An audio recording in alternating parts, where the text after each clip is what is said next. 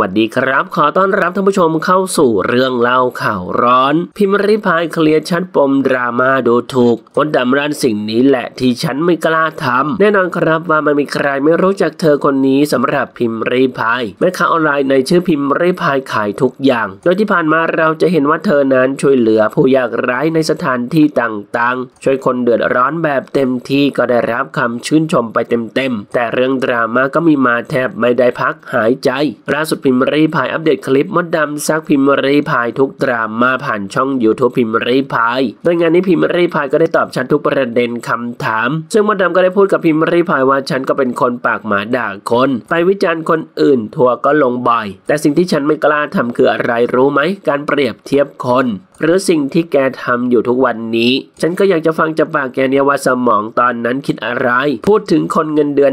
14,000 บาท พูดถึงการต่อคิวบัตรพร พิมพ์ริพายบอกว่าหนูมีวิธีรับมือจากคนที่พูดดี ใครพูดดีกับหนูหนูจะเรียกว่าเพื่อนรัก แต่ถ้าใครพูดจาไม่ดีหนูมีวิธีรับมือแบบตาต่อตาฟันต่อฟัน เห็นทุกคอมเมนต์ตอนนั้นกำลังเสียกลับคนคนเดียว แต่อีกหลายหมื่นคนนั่งฟังอยู่ด้วย บางคนก็แบบมากระทบกูนันเนี่ย พิมพ์ไม่มีเจตนาด่าว่าใคร แต่พิมพ์ผิดอย่างเดียวคือไม่ได้เอ่ยชื่อมัน ก็เลยกลายเป็นแบบนั้น เจตนาเราไม่ได้ว่าคนที่เหลือจะไปว่าเขาทำไมล่ะหนูไม่ใช่คนแบบนั้นอยู่แล้ว หนูไม่ได้ดูถูกใครเขาเลยหนูด่าอีนั่นคนเดียว ชีวิตหนูเนี่ยตกต่ำที่สุดคือเดินขายของตามตลาดนะตามตรอกตามซอย ชีวิตหนูเกิดมาตกต่ำเลย เพิ่งขึ้นมา 3 ปีนี้เอง พิมพ์ไม่อนุญาตให้ใครมาชี้หน้าบอกหรือคอมเมนต์จะเขียนอะไรก็ได้ว่าพิมพ์ตกต่ำพิมพ์ไม่ยอมมดดำบอกว่าหลอนเหลิงขึ้นป่าเอาจริง ๆ ที่ผ่านมาเอาตรงๆนะ พิมพ์ตอบว่าพิมพ์ไม่เคยเหลิง พิมพ์ริพายเป็นคนเดิมดังได้เพราะความมั่น